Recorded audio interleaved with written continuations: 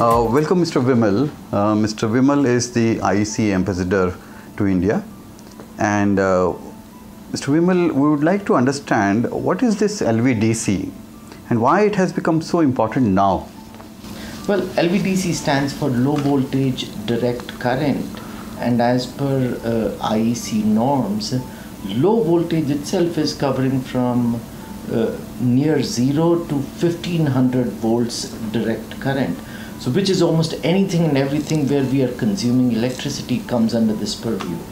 Direct current itself is as opposed to alternating current, which has a kind of uh, frequency with which it goes up and down.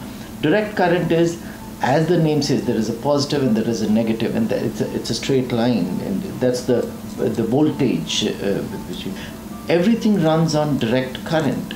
We have been in the past been uh, delivering alternating current using an adapter which converts the 220 volts AC into uh, DC voltage, which charges mobile phones, laptops, uh, does the uh, runs the lighting and other things. Uh, the other thing we are also recognizing is that uh, earlier the power was generated at big power plants outside of cities, and now increasingly power generation is coming on the rooftop in terms of solar PV. Solar PV, by its very nature, generates direct current. Yeah. So, given that we are beginning to in- increasingly have direct current in the generation and direct current in the consumption, a logical question is why don't we do everything in DC? And that's where the need for DC standards is arising. First and foremost is electricity access itself. Um, I'm pained to share that today there are about 1.5 billion people worldwide who have no electricity. Now, if we were to take the conventional grid to these uh, uh, remote villages and people, it would take a long time and a huge amount of expense by the governments.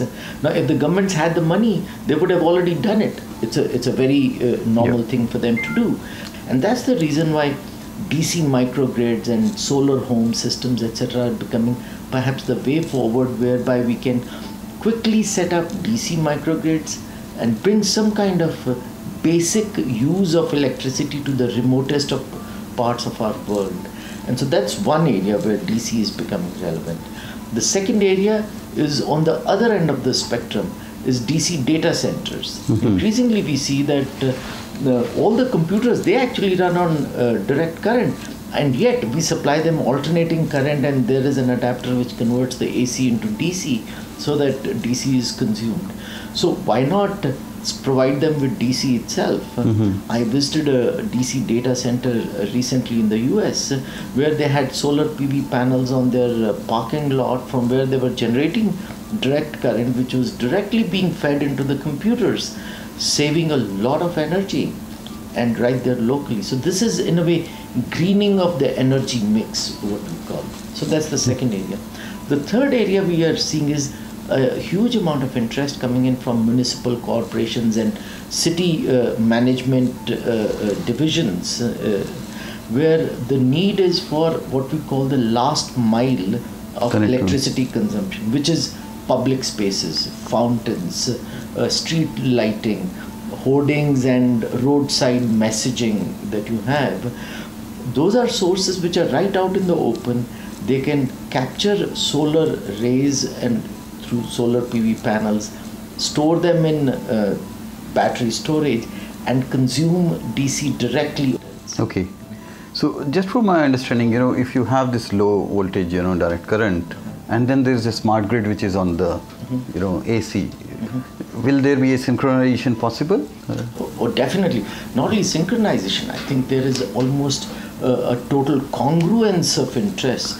Because if you see, the moment we put smarts, smarts basically means there is information exchange back and forth. And all information exchange devices, they have electronics embedded and all electronics run on DC. So even for any kind of smart technologies to be rolled out, the basic need of electricity can very intuitively be brought by direct current. okay.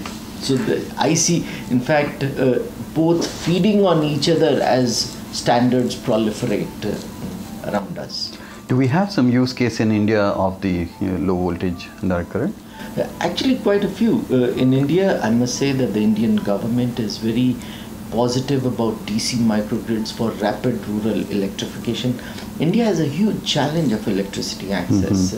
Um, unfortunately, even in uh, several urban and semi urban areas, the electricity supply is not good enough, and so there are frequent brownouts low voltage direct current is a solution available to the Indian government.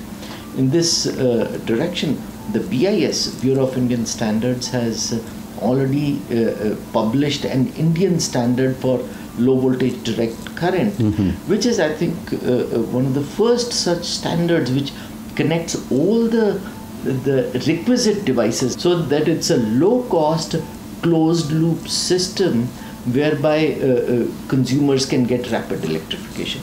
So the Indian government is using um, LVDC technologies for rapid electrification into the rural areas. I see this thing taking momentum going forward. Okay, that's great. So, how has been your role as an IEC ambassador to you know in India, and you know how you contribute? Well, uh, uh, this role as IEC ambassador is actually more of a global role. Um, uh, traditionally, IEC has been uh, doing a great job of developing standards. However, being engineers, we have been more silent. You know, as an uh, as a community, we don't go out and talk about the Yeah. work that we do much, but we realize that electricity access, renewables, green energy, etc., are new topics where the stakeholders are a lot of times very different. It's not just the industry; it is governments, it is regulators, and consumers, and end consumers who may not be traditionally in the IEC. As a result, we need to reach out to a lot of people. So, part of my role is actually to uh, reach out to all of them b- make them aware of the kind of technologies today are, that are available, especially LVDC, and also uh, related renewable energies, the kind of standards that exist, so that the same can be embedded into the larger thinking on how to bring a better, more sustainable world.